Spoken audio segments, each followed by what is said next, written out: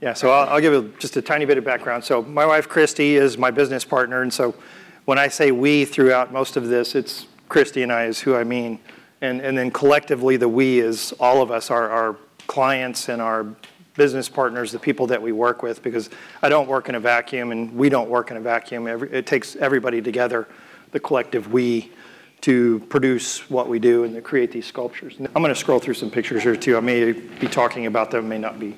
Um, but but the, the limits are typically by building codes, um, environment, uh, the, the, the, budget, and, and how people will interact with it. So the, the, that being said, there really aren't a lot of limits uh, with it other than uh, you know, what, what your mind can come up with. And with this, this work in particular, you spent a lot of time kind of getting to know the people of Midlothian and you wanted to make something that would really honor the, the people and also the industry in there.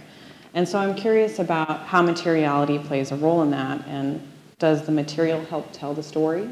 And does the narrative, or does the narrative drive the material or vice versa? Yeah, typically what, what Christy and I do is we tell stories through sculpture. And even though that's a big part of what we do today, we're talking mainly about materials. Um, in Midlothian, everybody knows it as this industrial town.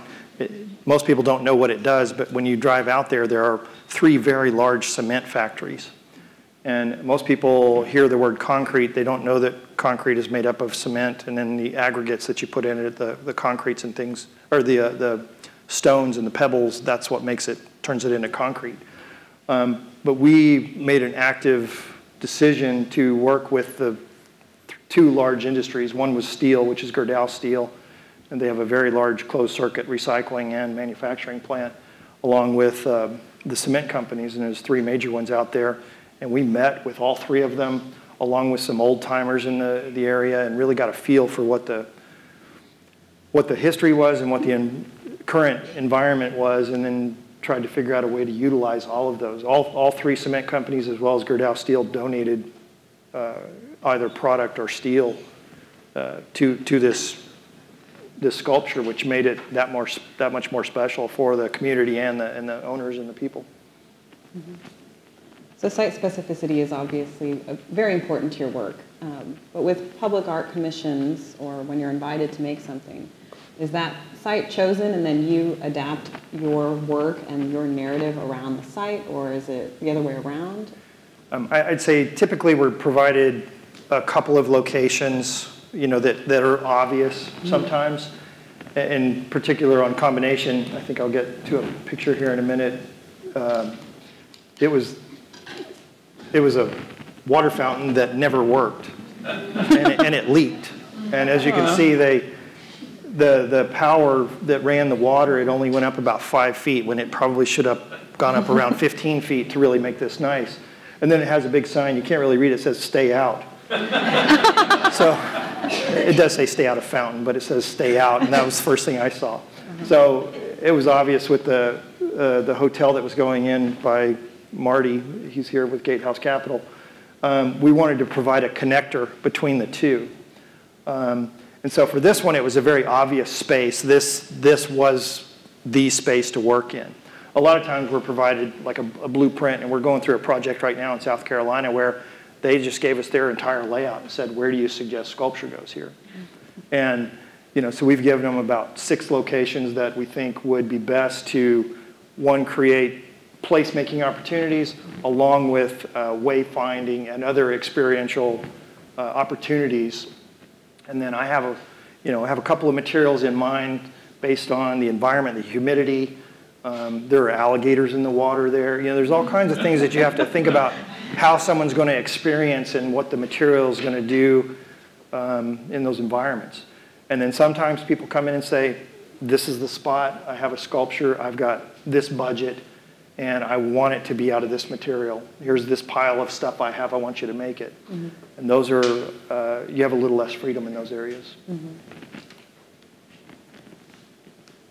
And then this this work is a good example. We got to see the video and we got to hear a little bit about your collaboration with the community. And I think that plays a big part in site specificity as well.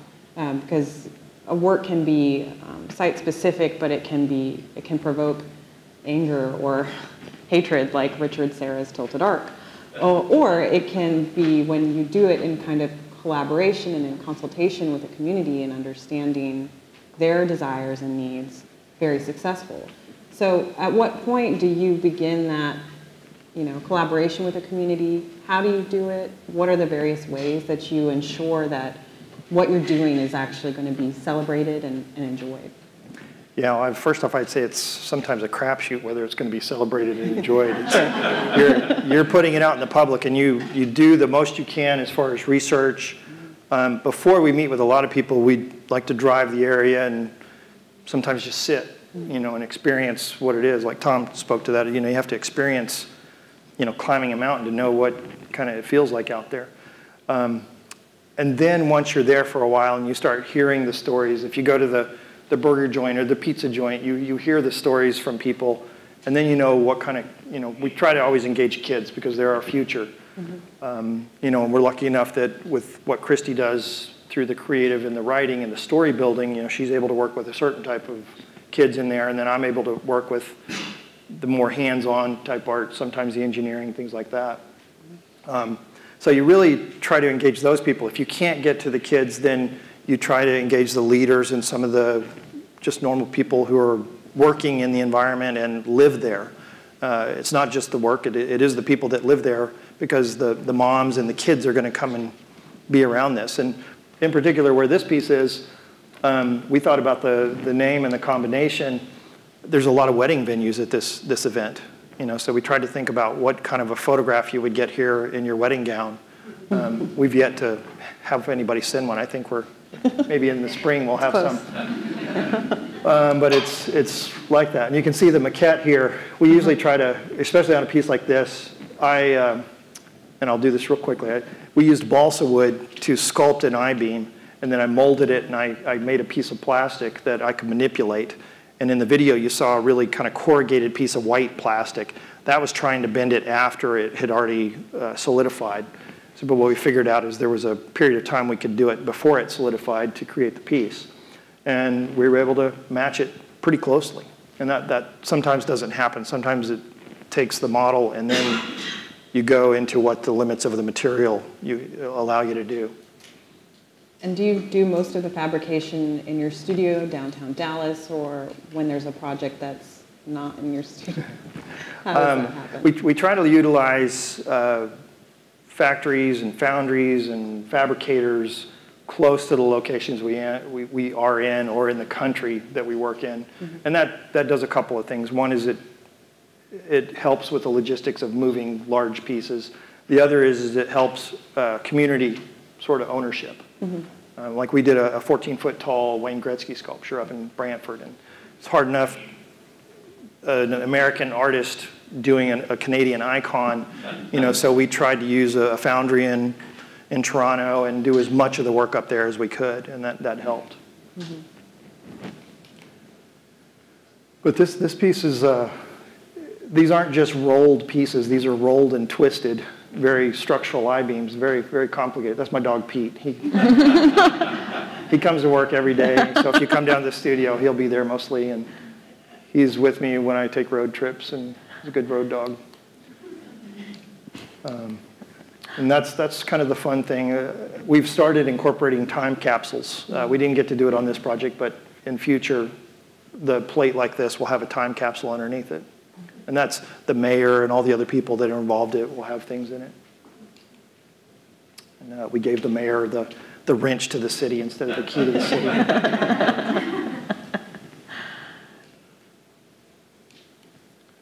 Then we get to the traveling man. I think anybody who lives in Dallas um, is very familiar with this work. Um, it's iconic. It kind of greets you as you cross over into the entertainment district known as Deep Ellum. And um, it's just, this, how tall is this? this uh, is we list him at 38 feet. I think he's about feet? 39 and a half with his antennas uh, with their lightning and, protection. And it's three. It's a series of three. Um, maybe you could tell us a little bit about this commission and how it differed from the Midlothian Commission. Yeah. So the Midlothian Commission, we were asked to come out and be a part of that community. And they didn't just say, here's a budget and come out and make the sculpture for us. We really had to work and help them understand what the process is and, and sort of walk them through all that and educate a lot of different people on how that works. Um, and then we presented the design, and then we were lucky enough that the uh, Board of Commissioners, everybody approved it, and then we were able to proceed. DART, on the other hand, was a public call, and it was narrowed down to six uh, artist groups. Uh, I think one was out of Canada, a couple from Middle America, and then a couple from Dallas. And Reel FX, which is a uh, animated movie and a movie studio, they, Brandon Oldenburg was a good friend of mine, and we had worked together on a couple things, and so he put together the package and included us in it. We were part of that, and we were part of the six. And then he called me one day and said, hey, uh, I hope you don't mind, but I put your name in this, and, and we were selected in the final six. And so that being said, then, then we got to work together and actually come up with the designs. And um, it was a lot of work, and DART was a committee of 12. Uh, 12 very different people. and so consensus was really easy to come by. Yeah, not at all. There, the, the, the meetings were yelling and crying and lots of uh, upset, um, and it was really hard to get this pushed through. Uh, we, we got selected, but then when they saw what it was, it, it was really tough. And I think in hindsight, everybody's like, yeah, it works, and it was really great. But at the time, there was a lot of comments, you know, why are we going to put a robot here? And why is that, you know, lots of whys. Mm-hmm. Um, but Brandon having worked down there and I wasn't far, we really felt like the, the history of this, and Christy too, Christy was in, instrumental in the story on this, that this, this giant iconic piece had these smaller uh, mirror finished birds. The birds represent the entrepreneurs, the business people, the musicians, uh, the artists of Deep Ellum and its rich history and they're mirror finishes so that you can be, be a part of the past. You can see yourself in it. So the material selection there was, it was pretty obvious what it needed to be once we figured out what we were doing because stainless steel is, it's a medical grade, uh, it's very industrial and holds up really well. These pieces have been out there since 2009, so eight years now almost. Mm -hmm. And there's very few scratches on them. Um, the big piece, he has actually two bullet um, dents oh. in it, but it didn't pierce it, they're just small dents. Um, you know, and, and can't really help that, but but it's it's made of uh, very strong pieces. This this will withhold a 150 mile an hour wind shear. It's going to be here probably longer than any of the buildings. That's something also nobody really thinks about is how do you make a work of art that's going to withstand the climate and and the environment in which it's located. And living in Dallas, we get everything. We get tornadoes, we get sleet, we get you know, we haven't got a hurricane yet, but maybe. Hopefully not. well, the, the, that's a part of my background, my history, and my experience. You know, Tom was talking about 10,000 hours, and I was trying to add up how many hours I have. I know yours is probably well more than 20,000 now, um, and I think I'm close to that as well on this. And that's understanding the materials and how they can be used and manipulated, but also how they weather, how they hold up, and how a person is going to engage with them. Um, but then on the back of that, I'm sure there's at least one engineer in here. Um, you really rely on those engineers to crunch the numbers. Mm. You know, the, the packet of, of number crunching on this is about an inch and a half thick. Um, not necessarily wow. this piece, but the Wait. tall guy it is. Um, they're the birds. Yeah, there's the, the iconic birds. And uh, they're actually seats. I, I remember the day after we pulled all the construction fences, I, there was a 7-Eleven across the street still there. But I saw a guy sitting on the back of this bird on the right, and he was eating a hot dog. that cracked me up. Um, you mentioned engineering, and can you talk a little bit about the engineering of this? Yeah, it took us uh, six months to work the, the details of this out. And I, I was a little frustrated that it took that long because I didn't understand at the time why it was taking so long. But understanding that you have over 35,000 pounds above ground and another 30,000 pounds below ground mm. to keep this thing from moving or falling on anybody. Uh, it, it, takes a lot of testing and, and, understanding of what materials. Like the, the internal structure, the bones of the traveling man is the, the upper portions are made out of a combination of 5 eighths uh, 588 steel, which is basically Corten. And then at the very bottom, it goes into one and a half inch thick steel. What you think about that, a piece of steel this big, you know, a square foot, one and a half inch thick is about 90 pounds. So you don't just like move that around easily. Um, and there's not a factory that just makes this stuff. So I, I sent, I, I, thought, all right, I'm going to do this different than any other project I've done. I'm actually going to send this out. I'm going to get quotes on this. and so I found one company back east and another, like in uh, Connecticut, and another one not far from here. And I sent it out, and the first quote for just the bones of the one traveling man, the tall guy, walking tall, uh, was $900,000. What and was what that, budget of this? Yeah, it was $1.4 million for all three locations. So in my mind, I was like, well, I guess he could be 12 feet tall. um, but then what I quickly realized is these people didn't know what they were quoting. Um, and it wasn't for their lack of trying to understand it, it was just they were scared and had never done it before and didn't really understand it. So that's where I had to pull it back in and work with some guys that I know and uh, make them understand what it was. And then we just took it over. We rented a house, or not a house, but a, a little warehouse in Sulphur Springs and mm -hmm. bought the right equipment and built it for about $220,000. Just the bones. Yeah, just the bones. Yeah. So we're looking at a, a, few of the original renderings that Brandon did, uh, really fun, fun, playful renderings. And then we'll get into um, some sketches that we did to try to figure out how the, the bones work and how the skin can apply. Mm. And the internal structures are like the one in the middle that has the conical with the clips off it, that's actually a technique that we used. Um, each piece had to be hand drilled and there's over 10,000 rivets in the big guy. Mm. And then you get into this, these are really cool because this is part of the engineering and the layout and the, the programming. Um, that's a lot of different pieces.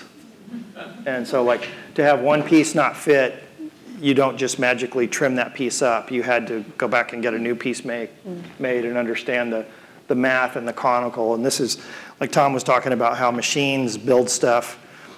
Machines laid this out and actually cut it and drilled part of it, but then it takes a person by hand feeding this into a roller, putting the conical shape, putting the 10 rivets in down one side, and then trying to manipulate it back in place to get the other 10 on the other side to go in.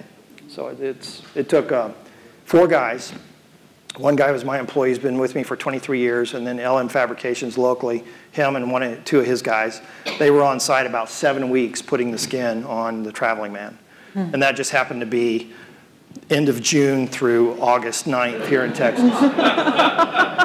so the, and this is, you know, you talk about material usage. There wasn't really any other material we could use, but we put a thermometer on one of those pieces out there. It was 140 degrees. Oh my gosh. Um, but when you got above about 14 feet in the air, there was a nice breeze. so we were, we were working sort of in a, in a little wind zone. Hmm. We were just talking before this about installation and at the Nasher, you know, we, we deal with large-scale sculptures all the time. And um, when we're putting work in the garden, we now have to, if it's large enough, like the Giuseppe Penone tree we put in last fall, we have to have a crane kind of park itself outside of our wall, and then it's lifted from the flatbed over the garden wall and into its location which is terrifying because this is a huge sculpture that's just suspended in air, like being gracefully placed. And so we're talking about when we did that installation, a lot of things just weren't going so well, and it ended up, you know, three or four in the morning before we actually finished it.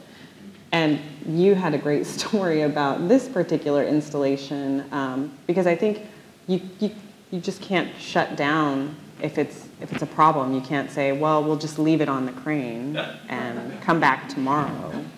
Yeah, like this, this photograph here, this is from about May, no, it's, it's about June 6th that day. Um, and that's middle of the summer, that's about 8.45 at night. And I'm on the other side of that leg there. We had the, the rear leg stuck, and we couldn't get that front leg stuck. Uh, when I say stuck, I mean over the eight bolts that, that are in the ground we could always get three or four of them, but we could never get all, all eight of them at the same time. And we finally got it in the ground, you know, over the eight bolts around midnight, and it took us another two or three hours to actually tighten all of them down. Because then you don't just have this magic drill that you put over it and it just tightens everything up. It's all done by hand, and the hole that that's in is about uh, eight feet diameter with a 54 inch diameter pier and about six feet around that that has a rebar cage that's going to be backfilled with concrete to lock it all together. So you're working inside the rebar, only able to move a wrench maybe six inches before you have to take it off and move it back again. And so, and you're wearing a hard hat and all the other protective stuff and trying not to get beat up and cut and banged, and it's inevitable you do. So that's what Tom was talking about too, that the artist does it. I, I, don't get to just stand on the side and say, hey, just figure out how to stick that thing in the ground. You know, right. you guys do it. It's when it comes down to it, if we have a problem, I have to make the decision on how to fix it. Mm-hmm. And I don't do it by myself. We, we have engineers, we, we have people there, but we couldn't leave that up in the air. We had to, we had to safely put it there because the hydraulics on the cranes, you can't leave the tension on them for that long. And all, all kinds of safety issues that you got to make sure everybody, everybody stays safe. So how much time passed from concept to installation? And then also, how much changes in that period of time? Is there? Well, like on the Traveling Man, the project was uh, two years all in. Okay. And I'd say it was around six to nine months of design, mm-hmm. another six, six months of engineering, and then the fabrication started in January and we installed in, in, in August. August 9th, we walked offsite. So it was a relatively quick fabrication for something like that. But that's, that's one of our trademarks that we, we fabricate very quickly. Like if you take combination, for example, it took us longer to develop the relationship and the design than it did to fabricate. We, we started, we got the go-ahead on design in September and we installed that January 20, 22nd, 23rd. Mm-hmm. Um, and that's, that's ridiculous for the amount of work that that project actually was. How did you incorporate the Deep Ellum history into this particular project? That's the fun part of a lot of our projects, um, where you get to go in and, and become a part of it and kind of research the past and, and the history. Uh, you feel like you're a part of it after that. It's, it's like reading a really great book or watching a great movie. Um, there's great resources at the library, and then if you can find somebody who's kind of lived long enough to, mm-hmm. to share part of it with you as well. And Deep Ellum has a rich history, so there's a lot documented on it. Mm-hmm. And the different, and the traveling man in particular, what is what is what is about that figure? How did you come to that figure? I suppose. Oh, it was lots of the the original maquette we did was very sort of a 1912 locomotive with like doors that opened in his chest and was really kind of industrial feeling. Mm-hmm. And so we refined it into a bit of modern art for the reason of we wanted to make it a piece of artwork versus, excuse me, just um, sticking something up that looked like found art. Uh, and it had to be refined enough so that as the future uh, developed around it, it still blended in with it. Mm-hmm. Um, but it's, it's just so fun to, to do that research. Mm-hmm. And, and I will say Christy does most of the research, and then it's sort of like when I get up in the morning and the paper's been read, and she hands me the parts that are really good for me to, to read. Well, I think research played a big part in the next project that we have. Well, yeah. so before few, we get there, let's. A few extra pictures. That's they had a time lapse that showed part of the traveling man, and then it had a glitch and didn't catch all of it. But it was supposed to catch the application of all the skin. Wow. And then the finished product uh, people, if you drive by this, there's always somebody down there photographing mm-hmm. in the snow. Just a, that's a good example, though, of withstanding yeah. the environment. This is the, the two tattoos is a, a, a mom and a son. and uh, they were nice enough to share that with us. The Geico, it was on the Chase Bank website, and up there with the shoes and the scarf, that was a, a, a girl who just felt sad that he looked cold so she made those, they're Chuck Taylor shoes. And, um, but then you're talking about research. This is a piece called The Birth of a City. Can you tell us a little bit about, um, first of all, this is just what the commission is, where it's located, and. Yeah, this is at Encore Park, which is not far from here. You could actually walk there uh, about a 10 or 15 minute walk. Uh, it's right across the street from the Stewpot, so it's essentially in Dallas, it's ground zero for the homeless issue that we have here. And it's right across the street from First Presbyterian Church, which Christy and I are members of.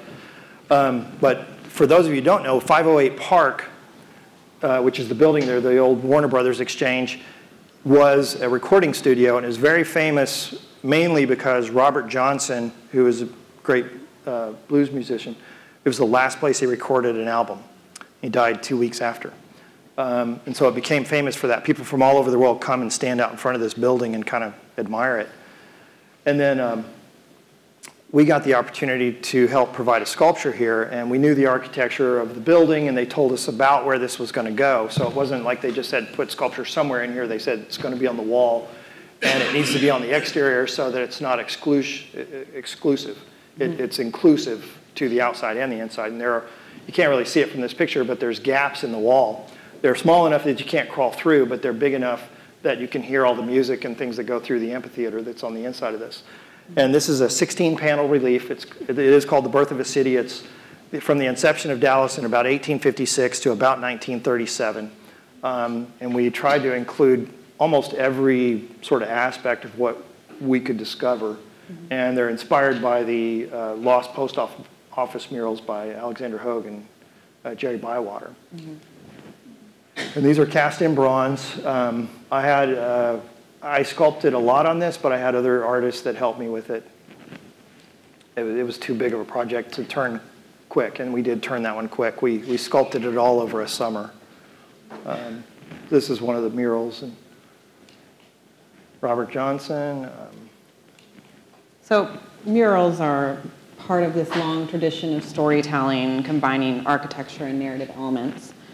And so this element of visual narrative is the basis of your collaboration and your relationship with Christy. She's, she's your partner and she comes to all of your projects through kind of written word, creative writing to help you develop that narrative. So this is kind of natural, like that collaboration seems very natural when it comes to a mural project because that's the whole point. But I'm wondering if you could talk about how the written word and the narrative plays a role in other projects that you two have worked on. Yeah, well, it's the, the, written word, word is what comes first for Christy. Um, what comes first for me is always visual. And so I'm a very, my, my mind is very animated. So whenever Christy is writing or talking about something, images come in my mind. And the same thing is like, like reading a book is like watching a movie for me. Um, and that's, that's where this, we, sometimes I'll come up with an idea and I'll tell it to Christy and she'll enhance it, or other times she will come up with it and talk to me, and then we kind of work through a direction. Um, or sometimes she writes the whole story and then says, "Here's what I have," um, and then it's then I kind of go back and forth and play around with it. But the the written word is is really the if it's not the beginning point, it should be the beginning point on all of what we do because it helps lay out a pathway for which we can get to the end result. Mm-hmm. And even like this this drawing that you're looking at on this table, that was it was scaled uh, one, I think it was uh, 12 inches to one foot, or I mean, uh, one inch to 12, one inch to one foot. Um, but you can see the packet of writing there. Each little panel had a full page with backup photos and inspiration. And this sculpture in particular was one that made us feel like we were closer to the city of Dallas after we did it. You know, we're both transplants here. We didn't grow up in Dallas, but we really feel like we're part of Dallas now because of this sculpture. What was the driving choice for bronze as your material? Um, one, the, the way it ages. Bronze is a material that it's going to be around unless somebody cuts it up and melts it down. Mm-hmm. Um, it weathers well. It holds up to uh, rubbing by hand. Uh, the patina riches, gets richer over time. Mm-hmm. This particular piece has an anti-graffiti coating on it. Mm-hmm. Um, you know, we sculpted this all as one big mural and then cut it apart. Um, Can you walk us through that kind of, yeah. not too in depth, yeah. but maybe a step by step, like? Well, the, the, for this one, we well, it comes the the written and then the, the sketch, mm-hmm. and then we took the sketch and we actually blew it up life size for this one mm-hmm. because it wasn't too big. Mm-hmm. Um, when you're like the guys from Icon, when they do these big murals on the buildings, they actually have small small drawings that are laid out in grids and they know that this grid is four feet by five feet and they work at it that way. This one, what we do is we lay the paper up on a wall of clay that we've created, and you can basically take a pen and poke through it. Mm-hmm. And then you're going by pictures after that. You're actually hand applying clay and building it up and creating noses and eyes. And, and you do the rough outline of the entire thing, and then you come back in and do all the fine work, the detail work, and then mm-hmm. take away. And then you go to bed for a couple days, and then you come, come back and look at it again and realize that you're a long ways from being done. And uh, as you can see, it's, it's pretty hot, you know, where we sculpted this. And you, you don't get the option of picking the best time of the year to do things. They're, they're based off of when the, the jobs are opening and Yeah. projects are completing. This is us moving it. The cool thing about when we installed this is this is right across the street from Homeless. There was a couple of guys that had hard hats and vests, and they're like, hey, I want to help.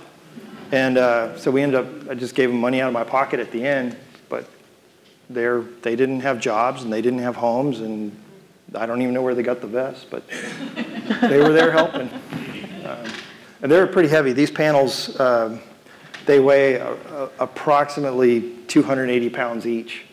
And they're, we, we put a, a filler on the back just to keep any moisture from coming through, and they're inset into there. And then we used a, a pick-proof caulk uh, around the edges so that somebody couldn't come and kind of dig it out and then try it. We knew they wouldn't be able to get them out, but we didn't want somebody to damage it trying to get it out because they have four uh, one-inch threaded rods that go into the wall.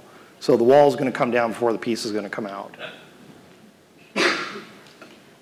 And then the day we opened it, uh, we got to talk about it and give a great tour, and it was really fun. Christy's way better at explaining stories than I am.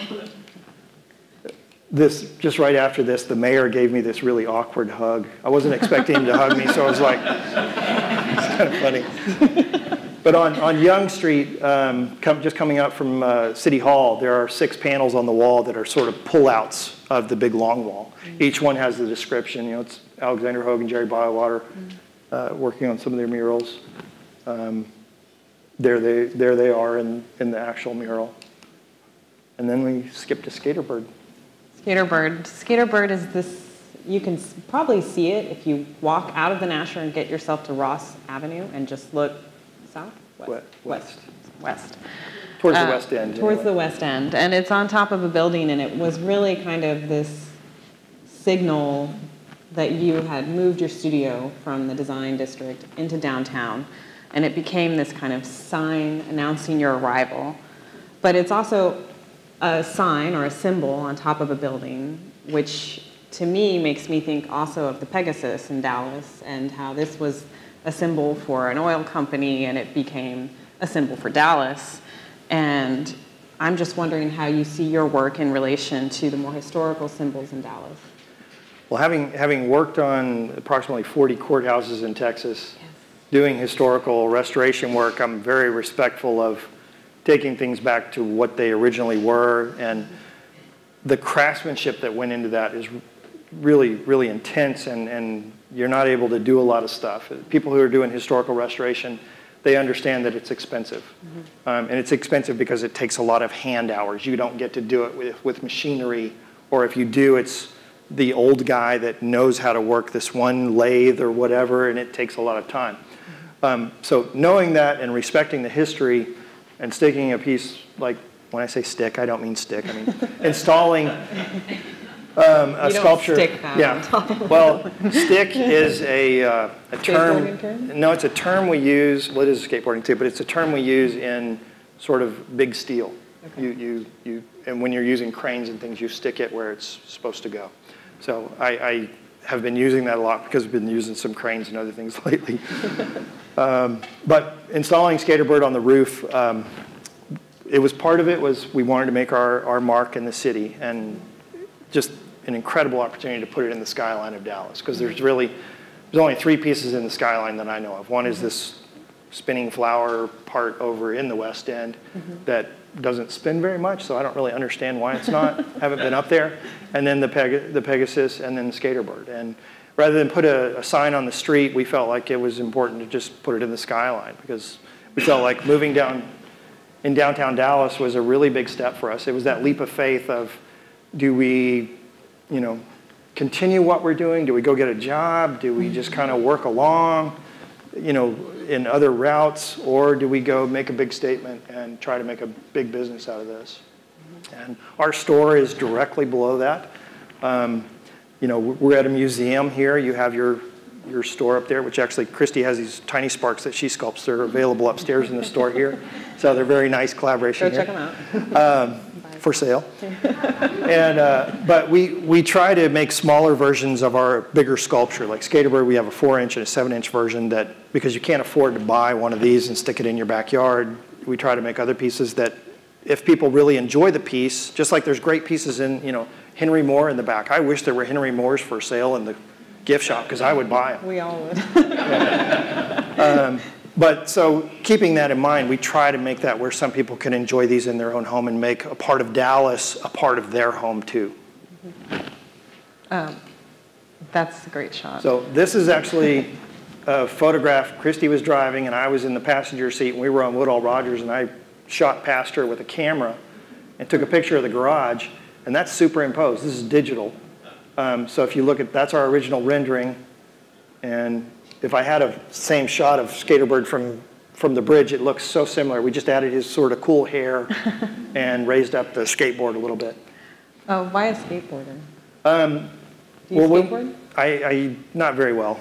Um, but when we were up on the, on the, on the top of the roof, it's, you know, parking garages are, are ramped. Mm-hmm. And we were up there, I was like, oh, how cool would it be to have like s- something up here, you know, like a bird jumping into the city. And then later on, we found out that this garage has been an iconic skateboarding garage for 30 years. The day after we installed this piece, we, we walked off site at 2 o'clock on a Saturday, got it up. Before noon on Sunday, there was a photograph of nine skateboarders standing all up, ready to fall off the building, um, and wrote us this long paragraph email about how they felt like the skateboard gods had answered their prayers. and so it was, it was va- that's immediate validation that we did something that can be appreciated by the environment that it's in and, and placemaking opportunities. And same thing with Traveling Man. When we took the fences off, I think it was around 10 in the morning, we came back at 3 for a drive through on the train. There was a husband and wife in wedding gown and tuxedo um, waiting with the train, taking their wedding pictures that day. Four hours.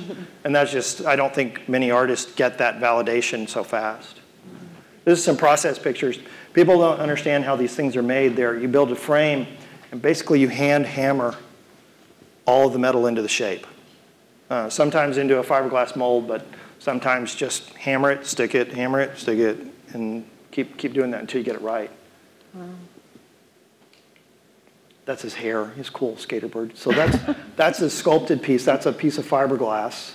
And you can see the wheels from the skateboard around it.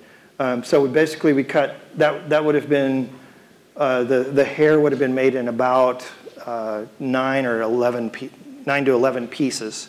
So you shape them around that. You can't really have an undercut and then get it back off. So you cut the piece and then you weld it all up, sand it, polish it. My daughter Annabelle, um, she's uh, at a lot of our installs and supports us. So the bird, we, we assembled it finally down in the parking lot and the crane, and by the time it started lifting and I got upstairs, it was already upstairs. It was a very quick lift. And uh, community involvement, uh, although we didn't involve a lot of community in this, the Fountain Place building, um, Tenet Health is a big occupant of that. One of the girls who runs the marketing department there filmed this going up, and within 20 minutes of us having gone on the roof, she had emailed Christy. And so we had a video of Skaterbird being lifted up on the roof. You also held a skateboard competition? Yeah, it was called D-Town Throwdown, and we, we just, we had a relationship with Red Bull, and we called them to see if we could just get some skateboarders up there, and it turned into this massive 5,000 person event with a big skateboard race through the garage and street bikes and tricks and all kinds of stuff. And I think they'll do it again in a couple of years. We just did it uh, last year for the first time, and but it was it was a good event. Mm-hmm. It was fun, and that helps people buy into it. I think the, one of the next steps is hopefully over the next year we can get a, a smaller version of a skater bird, maybe a four or five foot version on the ground mm-hmm. somewhere in Dallas, so that people can engage with it a little easier because. The building's locked over the weekend. It's kind of hard to get up there, although mm-hmm. the skateboarders have figured that part out. He's Flying flying to his landing spot. And again, another case of engineers helping me understand, you know, what we need to do to make it structural and how to bolt it down and Mm-hmm. how that works. That's the, that's the picture, isn't it? Yeah, that's the picture of the guys. Yeah. So there's There the it is. D-Town throwdown. And then some of the smaller versions and, you know, some of the marketing. We try to uh, help the people who own our sculptures understand that the, that community buy-in is important and help them engage with that as well. So by balloons and posters and T-shirts and so it's really great at sunset. You get a view of the entire South Oak Cliff, and uh, you can see Texas Stadium from here on a, on a clear night. It's, it's really good. So then we get into another piece. Um, Chicago Works, which I think relates nicely to Birth of a City, but one thing that's pertinent to a discussion of materiality is you use different materials. Even though they look somewhat similar, it's also a relief sculpture, it's also um, putting on display the history of a city. Um, but I'm curious why, can you tell us about this material and why the choice was made to do it? Yeah, so this is Strategic Hotels. They're a, a client of mine. I've worked on about eight of their properties. And this tube structure that you see here existed, and there was an LED sign in there that at night lit up the entire block and became a big problem with all the neighbors, and they had to remove it. Um, and they got, they got permission to put it up because it was just information about the hotel, and then they started advertising, and that was the final straw. Um, but because this structure existed, the entire thing is out of aluminum, and it's on its own base. I had to stay within sort of the weight zones that the LEDs were in. And so we cast these out of aluminum. Um, and the LEDs were in that same sort of stair-step pattern. Um, so I cast this piece in three different sections, and they bolt together. And uh, I think there might be a couple pictures. Uh, but we started off back in the in the 1920s, the WPA era.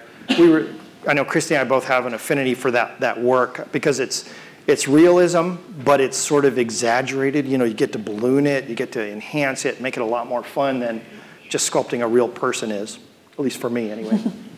Um, but we start off with a sketch, and then we sculpted a small version, and the small version helps us work out the details and sort of the angles and how big something needs to come off the, build, the, the wall.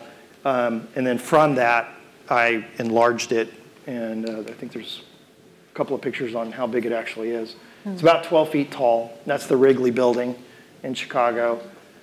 Um, and just kind of a little bit of sculpting, and you get, it's really makes you very sore and tired to sculpt uh, on scaffolding or on ladders and on vertical surfaces. It's a lot easier to work on one, one little piece on a little lazy Susan that you can turn around or hold in your lap. This big stuff, you, you really get tired doing the work. And dirty.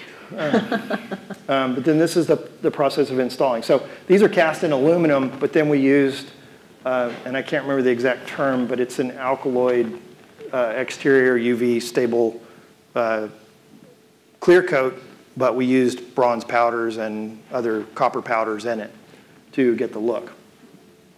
And then this is where we were sticking that piece in. um, but these are tricky too because I took all the measurements. This is supposed to be on a 120 foot radius, um, but then the pieces flared out a little bit, so we end up having to cut, manipulate. It's a typical install of it doesn't quite fit exactly how you think it's going to.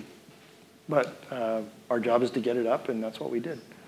And so this particular picture, you see all the little starbursts from a period of about 7.50 in the morning to about 8.25, the sun peeks out over these buildings and hits the mirror tops on the buildings behind it, and it lit up this side.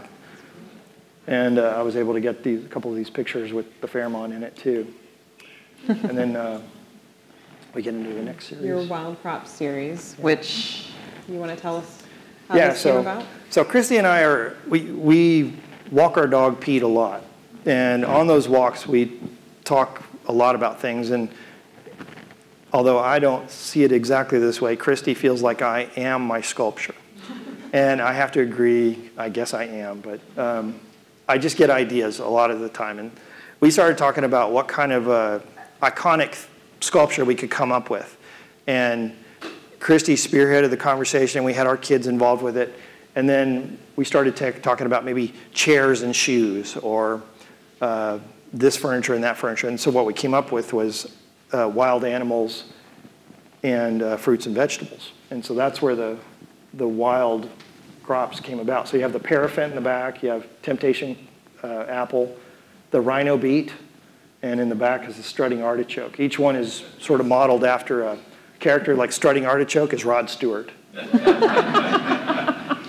um, sweet carrots, each, co- each one comes with a quote, and Christy wrote these, and it's, uh, may your words be as light as a sparrow and as sweet as a carrot, for tomorrow you may need to eat them. but again, it comes in a material. We took the sweet carrot, and there's an installation we're going to be installing in January, February over at Clear Fork in Fort Worth, um, where this is going to be 11 feet tall. And this is the, the beginning process of how we go about turning something from small scale into a, a larger scale. That's wood and a lot of masking tape and tin foil and a lot of steel within it. And then we used a product called uh, Freeform Air, which uh, hardens. It's sort of like a, an air drying putty, but it dries quicker. And then we used another product. There's the tail. Um, another product called uh, Freeform Habitat, which is made to use zoo habitats. Hmm.